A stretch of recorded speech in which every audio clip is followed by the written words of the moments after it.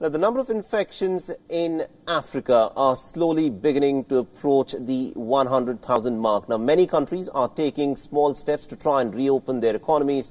South Africa is, of course, struggling to feed the thousands of minds that are grappling with restrictions. And also another nation, Burundi, is bracing for general elections, pretty much completely downplaying the pandemic fear altogether.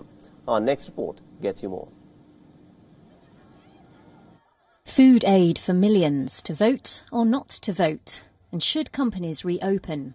These dilemmas are occupying African governments as coronavirus figures continue to climb. There are no easy answers. Echoing scenes elsewhere, huge numbers of people queued up in South Africa to receive much needed food handouts. Countless people have been unable to work during the country's particularly strict lockdown. Huge lines formed in the informal settlement of Itumeleng in the capital Pretoria. President Cyril Ramaphosa announced last week that the country would ease restrictions from June. In line with restrictions, South Africa's mining industry is operating at only 50% capacity. It's an unpopular measure for company bosses and employees. Some workers in Marikana, northwest of Johannesburg, where police shot dead 34 strikers in 2012, have been paid but haven't been called in for shift duty.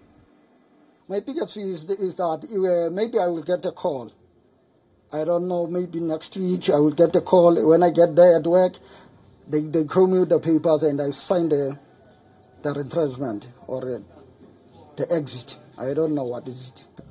Despite the coronavirus outbreak, Burundians headed to the polls to vote in tense elections to replace their long ruling president.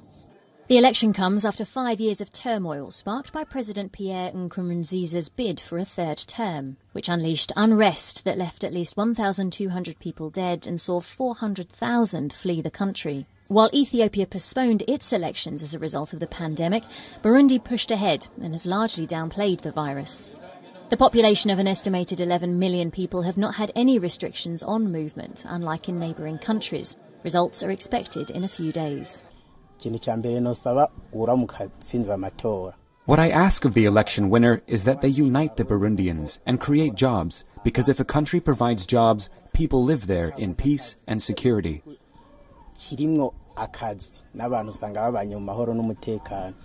Tanzanian President John Magufuli says that the number of coronavirus cases has dropped drastically thanks to the population's prayers and implies the pandemic might soon end. Although it has closed schools, the government has allowed shops and transportation networks to function as normal. Magufuli's government has been criticised for a lack of transparency regarding the toll that COVID 19 has taken, with the last official update at the end of April listing 480 cases, including 16 deaths. The battle against COVID 19 isn't just a physical one, it also means tackling the stigma associated with the illness and changing people's perceptions about those who are infected. Cameroonian politician Ekane Anicet has spoken out about overcoming the disease. The fact that someone who had COVID 19 can talk about it without painting an entirely negative picture has certainly had an impact on this panic and stigmatization.